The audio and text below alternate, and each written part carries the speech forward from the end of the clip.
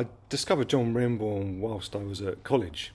Uh, I grew up in a, a musical family. My mum plays the accordion, and my dad used to play the clawhammer banjo. Made the family PA system. We had a family band. There were five of us. It was called the Jean Carroll Trio. um, but I uh, took a break from Trinity College, you know, one weekend probably get my washing done or something. And I noticed that John Renbourn was playing at uh, my local folk club, the Red Lion in Manningtree. The gig's upstairs. So I asked if I could play the support. The organisers said I could. And so I worked up a, some pieces that I had written along with some jazz pieces I thought John Renbourn was downstairs changing his strings or messing with his nails or something, getting ready for his concert. But it turns out that he was at the back of the room and he watched my set in its entirety. And at the end, he came up to me and asked if I'd recorded anything. And up till that point, I hadn't. Uh, but a few months later, I supported um, the Irish harp guitar duo, uh, Máire Ní Chathasaigh and Chris Newman. And they offered me my first record, and I told Renbourn about it, and he very kindly wrote the sleeve notes to my first record. Um, this guitar is made by uh, a really uh, incredible character called Ralph Bown. He's based in York. Uh, my own guitar here is made by the same guy. In actual fact, he has quite a long waiting list most of the time. And I was playing with John Renbourn. I received a letter one time saying it'd be great to see two Bowns on the stage. How about it? I thought about that for about half a second. Um, but this is the guitar that John used when we toured together, and also on that first concert in Manningtree, or the start of the concert anyway. Uh, unfortunately, he, he trod on the pickup system of that first concert and the whole thing hit the floor. And unfortunately, still further, the headstock snapped off. And I think that happened a few times. You know, this guitar doesn't like flying too much. Uh, but I'm looking after it now, and, and uh, I don't take it out on the road. I just use it home for recording and things. It's an OM style guitar, Brazilian rosewood. It's been through the wars, as you can probably see. It's got a lot of cracks and things on it. I mean, you know, wide grain Brazilian rosewood, you only have to look at it in cold, dry conditions and it, and it cracks. Um, but it's had, well, you know, built in 1985. How many years is that now? Yeah, uh, 95, 20, 34 years of playing. Yeah. So it's really played in. The bottom end's it's got that kind of pre-war Martin grand piano kind of vibe to it. Um, the neck's quite thin. That's the way he liked it. Um, he had his had a kind of custom set of strings, and the, the, string with the most tension, I think, on acoustic guitar is probably the third string. So he had a slightly lower ten, uh, third string, instead of like a regular 24, he might have used a 21, 22 or something. Um, and he's got uh, still he's got his pickup system on. It's the uh, Mimesis pickup system, a kind of Mike Vanden system, precursor to Fishman, kind of uh, it, is it Rare Earth, something like that. Uh, but it's without the microphone, so uh, I had the pleasure of sitting next to him during his sound checks, which would consist of him plugging this thing into a LR Baggs preamp, and then he'd instruct the sound man to um, pull up a SM57 instrument mic. And the basic instruction was to make it sound as cheap and nasty as possible. In other words, take all the bottom end out. So you're left with a little bit of mid range, but for the most part, you've got that kind of, you can hear the finger work mm. on, on the strings, yeah, which the pickup doesn't bring out. Yeah, so the pickup has a kind of jazzy sound, and that kind of picks up the strength of the instrument and then you get all the delicate kind of detail through the microphone sound. Mm. And that's what I do actually on my own Bown guitar. It's a similar kind of setup, but I've got the um, you know this jazz sound here, so I can move about, and the microphones in the guitar. I run a stereo lead out of that thing, so on the pickup signal I have bass, up, you know, a lot of bass sounds, a tiny bit of mid range, and the treble's completely off gives that kind of jazzy vibe. Mm. And then on the pickup system inside that guitar, I turn all the bass off and a little bit of mid range and a little bit of treble. Yeah. And it kind of makes it sound natural, but at, at a loud volume. And because you're turning the bass off the microphone, you get rid of the feedback. He was intrigued by Arthurian legends and medieval tales as a kid.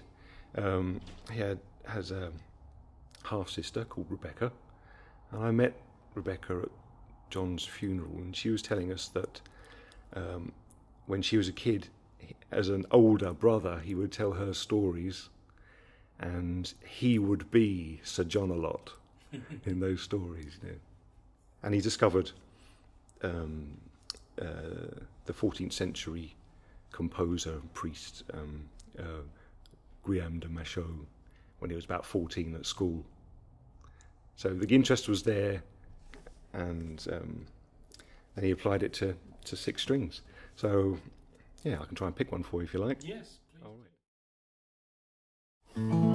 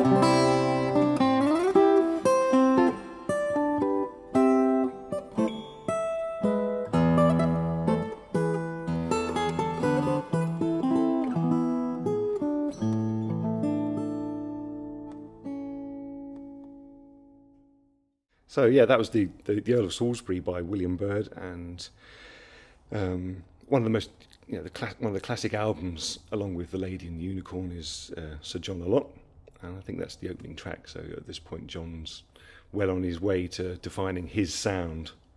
Yeah. Mhm. For guitar and glockenspiel on the record. Oh, Yeah. Rock on. Yeah. so as far as alternate tunings go, um, yeah, he did move well away from standard tuning. Uh, the first one you'd head towards is drop D, I guess, which is kind of standard these days, I suppose. Um, for example, uh, Lady Nothing's Toy Puff. It's in in drop D. An interesting title, I guess. yeah. Yeah. yeah. Um, you know, a slightly smaller piece might have been known as a lady or nothings, or you know, just a short little toy or a puff. So John decided to join all of those words together to create his own title. So, Lady Nothing's Toy Puff. Um,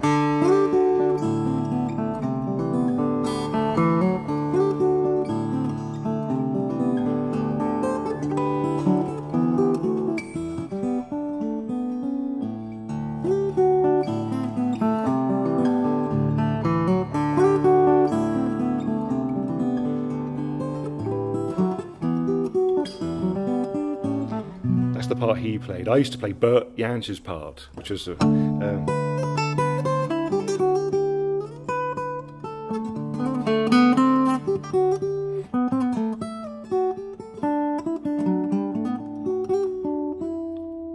which is lovely in its own right. right? Um, the ending was really good. John was, when he was arranging, he liked to stick in a harmonic, sometimes where possible, I think, to make it really work on the guitar. The ending of Lady Nothing's, on Bert's part, was really fun. So isn't that cool? Yeah, I mean, you could go. But yeah. Yeah, always a nice moment in the in the concerts. So yeah, uh, that's drop D, uh, open G tunings. Um, he had a medley uh, that included the English Dance, which is on the Black Balloon album, I think, from 1979. Uh, let me get into open G tuning for you. Mhm. All right. Well, I'm already in drop D, so I'm going to lower the A string down to G.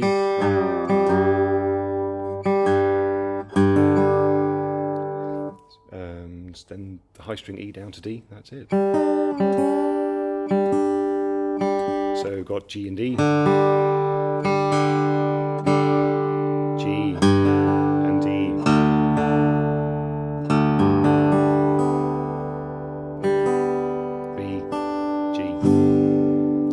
banjo tuning. if I stick the cap on.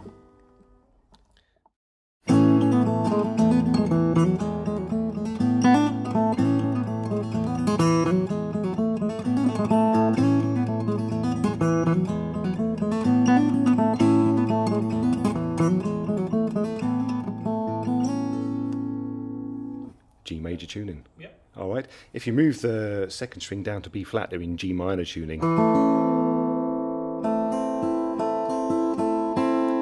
I can pick one in this tuning for you.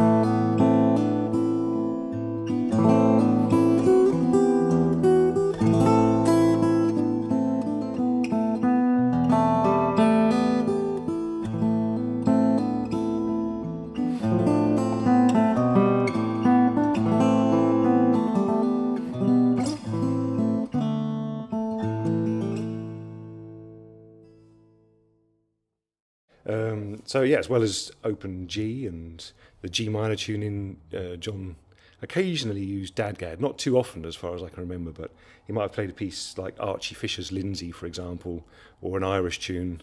Um,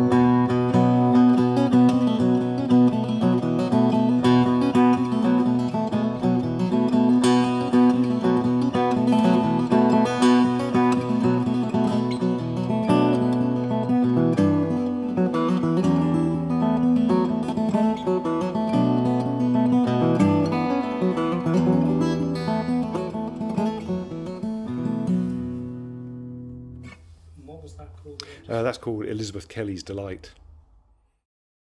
So there's Angie, right? Mm-hmm. Yeah. So I, I think around about in around about 1960, John heard Davy Graham for the first time, and I think he pretty much blew everyone away, by all accounts. Um, I think he kind of blew himself away as well, unfortunately.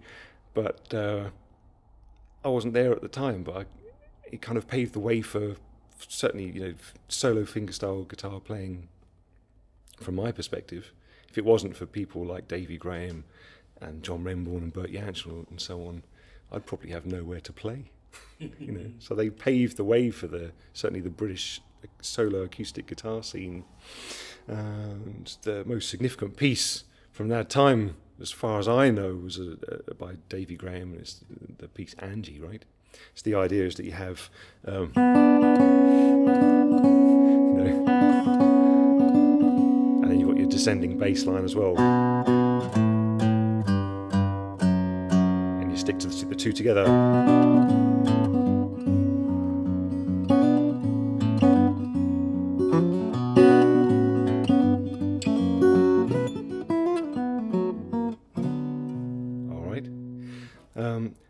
Sure John must have been influenced by that when he wrote the piece Judy.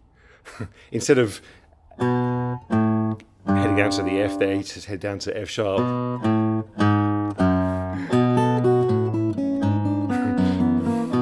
it's in three, but you can hear the similarity.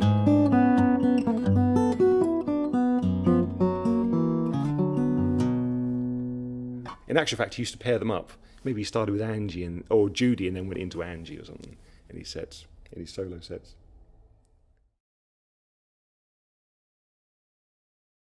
Yeah, I used ping pong balls, as did John Renbourn. I didn't pick up the idea from him though. I picked them up from my third year guitar teacher at college. And she's called Nicola Hall, amazing classical guitarist, great teacher. Uh, she used to use different coloured ping pong balls, but I've stuck with white.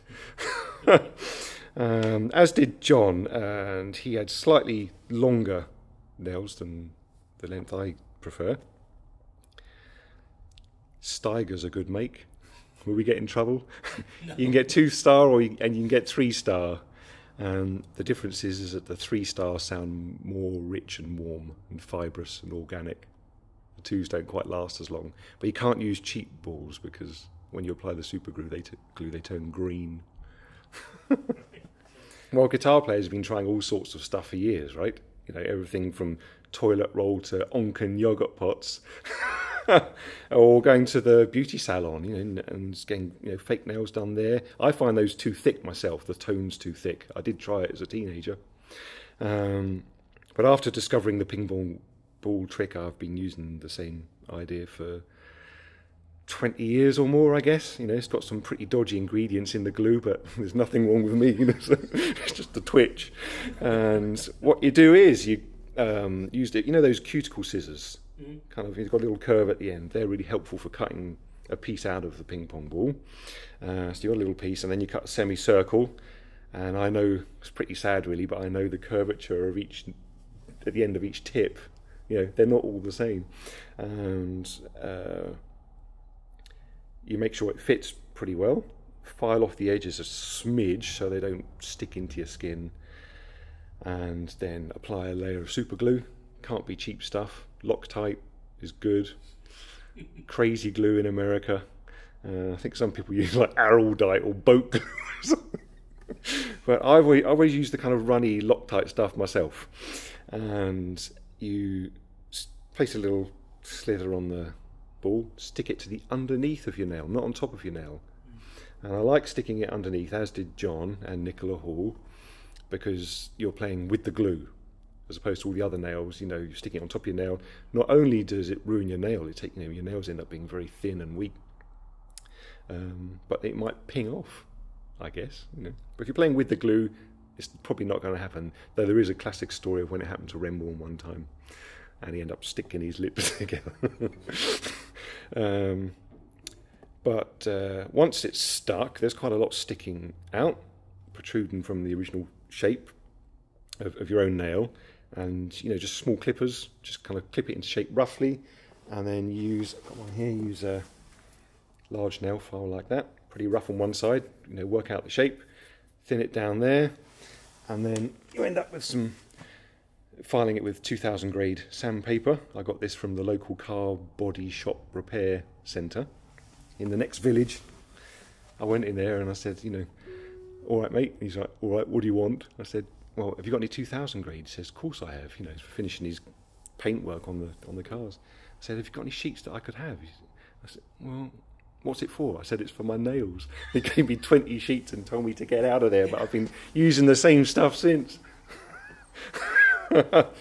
so it really helps to file it with the 2000 grade because that strengthens the tone. Right. You know. Um, you know, different ways of filing. Some people like to file that way a lot. You know, a lot of classical guitarists like that angle for a re- even thicker tone. But I figure, you know, the same shape as the end of the tip of your fingertip itself. It, the, you know, the skin is a is, is a good enough tone for me. Mm. It's pretty it's pretty fat, you know. His hands were quite square on, so they weren't like an electric guitar. You know, like Stevie Ray's. You like you know, you're, you're, glued, you know, this part of your finger's glued there. He plays almost like a classical player, I guess. Um, it's interesting to point out that he didn't always, well, he certainly didn't play like I'm playing now.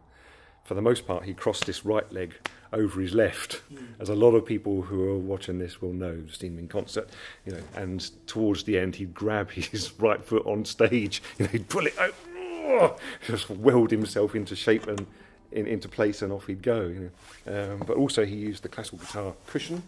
You've seen that thing? Right. Yeah. Um, and on this guitar you can see that he had a little piece there. He had a little bracket as well. Sometimes he used as well. Um, but in terms of left hand technique, it was kind of kind of like like this. You know, his his fingers weren't too thin, and had a very light touch. Actions not too high, strings are pretty light. In actual fact, I think you know the older he got, the heavier the string became. Mm. I think he might have been down to nines or tens in the '60s, at a guess, I think, and he was using you know 12, 12 to 53. I think at some point earlier on he might have been down to a, like a 42 or a 46 or something on the bass. So super light for an acoustic guitar. Mm. Um, but you know a very very straight comes to, to the fret wire.